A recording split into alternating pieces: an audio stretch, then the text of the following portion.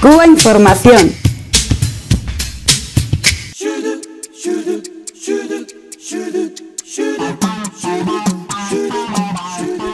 Hay días que anochece tan deprisa en las paredes de este cuarto oscuras que no puedo evitar las ajaduras de la luz infernal en la ceniza, andrófoba que cubre la repisa desde siempre. Hay segundos en mi estancia anteriores a toda nigromancia que llaman a la puerta y no parece humana voz sino algo que me ofrece devolverme al amparo de la infancia, porque todo regreso es miserable cuando ya se ha perdido la certeza de lo vivido, muevo la cabeza y no dejo pasar lo insoportable, aparición al tálamo infranqueable de mi cuarto, porque la infancia es cosa parecida a la muerte, si te roza te sumerge en un líquido inocente, y yo no quiero entrar en la aparente habitación donde su voz me acosa.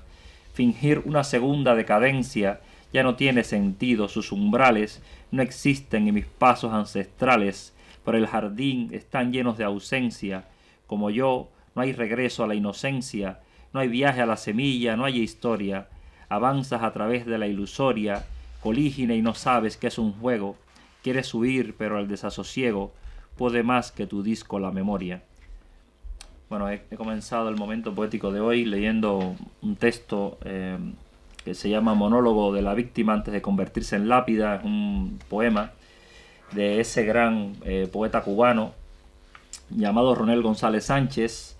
Ronel González Sánchez, eh, poeta nacido un 4 de abril de 1971, un poeta bastante joven, en un pequeño lugar llamado San Isidro de Holguín, y luego fue a vivir a otro sitio también muy pequeñito que se llama Caguairanal, que está a 8 kilómetros de Cacocún, eh, en la provincia de Holguín.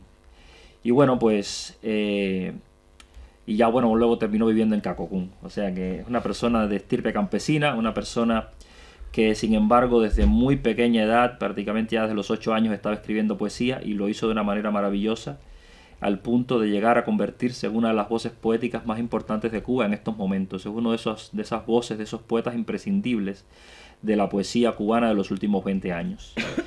Eh, es una persona que bueno, convierte en oro todo lo que toca, tiene premios eh, muchísimos, no podría ni siquiera leerlos todos, porque ha sido una persona muy premiada, tiene muchos libros, escribe de una manera eh, tremenda, o sea, tiene una producción poética eh, muy amplia, aparte de toda la poesía que él mismo ha destruido.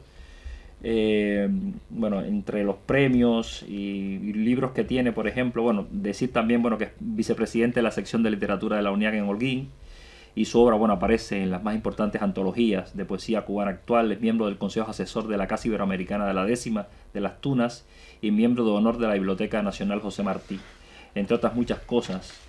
Eh, ha ganado cuatro veces el premio de la ciudad eh, de Holguín. Eh, por ejemplo, entre, las, los libros importantes que, tienes, que tiene, por ejemplo, quería mencionar, por ejemplo, algunas intenciones, algunas instrucciones para salir del sueño, que fue el premio David y premio de la ciudad de Holguín en el año 1991. un libro importante para él, Desterrado de Asombros, editorial Letras Cubanas del año 1998.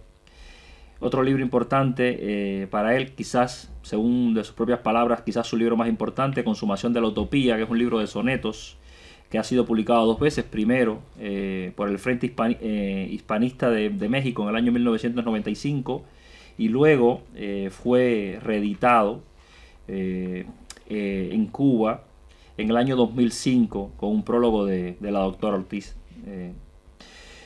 Eh, entre otros libros importantes, por ejemplo, en el año 2006 escribió un libro que se llama Atormentado de Sentido, eh, para una hermenéutica de la metadécima, que fue premio iberoamericano de la décima Cucalambé.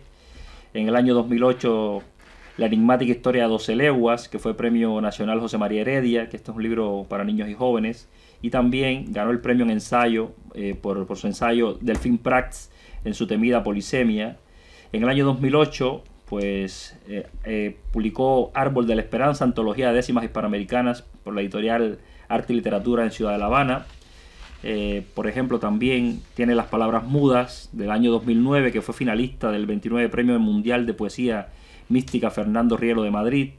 Bueno, otro libro muy bonito, un libro para niños que se llama Zoológico del año 2010. Eh, bueno, etcétera, etcétera, etcétera. Voy a leer su poesía, más que todo. Voy a leer su poesía porque seguramente, más que que me ponga a hablar de sus premios, él estará más contento con que lea su obra. Primer soliloquio del asesino. Esencialmente poético, descuido los menesteres que ofrecen otros placeres distantes del mundo ascético. Misoneísta y hermético soy simplemente un enlace temporal con lo que nace sobre la cuartilla en blanco, mas no siempre lo que arranco al misterio me complace. Yo vine al mundo adventicio como un nefando arabesco ante el espejo burlesco que puso Dios al inicio. Comprender el sacrificio de mi madre es aleatorio, jamás entendí el velorio, que fue mi origen difuso, ni por qué móvil confuso, nacer fue un acto ilusorio. Panegírico del asesino. Hijo, yo no soy culpable, a veces la muerte cansa y la vida no te alcanza para comprender qué amable puede ser cortar el cable terrenal que nos mantiene. Siempre la piedad conviene cuando no es Dios quien la enjuicia, pero sólo la justicia decide de dónde viene. No permitas que te asalte la felicidad sospecha, para ti no habrá una flecha eleática, no falte en tu mano el gerifalte de la duda, mas deroga tu devolución, tu devoción por la soga, y no me pidas que otorgue también tu rostro a la morgue, porque con placer te ahoga. Recuerda que él fue un tropiezo, luctuoso una sepultura, errante una prematura, hiperestesia un exceso, haber sostenido el peso de su erial desde la infancia, soportar su negromancia, su exánime pie mortuorio, no convirtió en un velorio mi vida por ignorancia. Hijo, ten piedad, no es burdo transformar el homo faber en la versión de un cadáver fiduciario de lo absurdo. Justificación es hurdo como el que sostiene un báculo a través del infernáculo, donde un salto es el envite, pero por favor permite que yo elimine el obstáculo. Expulsados del parterre original preferimos insultos a Dios y abrimos viejos frascos, quien nos cierre, los ojos morirá hierre o no la paz del arsénico, con disimulo ecuménico perpetrará su aquelarre como un tósigo que barre para siempre de lo edénico.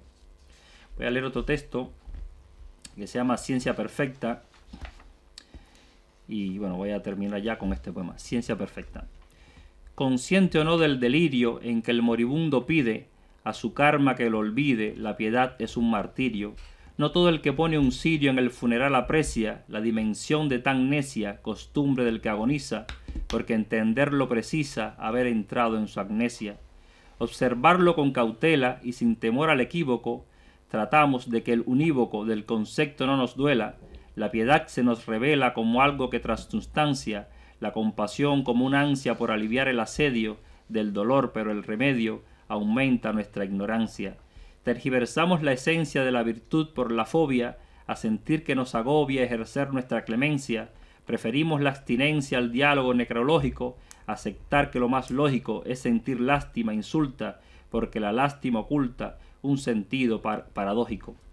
La autocompasión, la agnosia, de la piedad lo falsario, salen del devocionario que con la piedad se asocia, su didascalia disocia, si la voz del monasterio quiere imponer un dicterio desde el fascistol beatífico y resulta terrorífico no interpretar el misterio.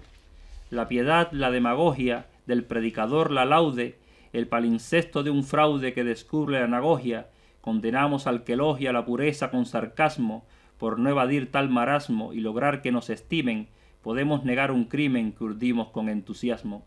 Afligido por la hora final el semidifuso, el semidifunto, quiere olvidar el asunto con rapidez la demora, cambia todo lo que ignora y acentúa su gravamen, no resistir otro examen, no entender su soledad, no tolerar la piedad será parte del dictamen.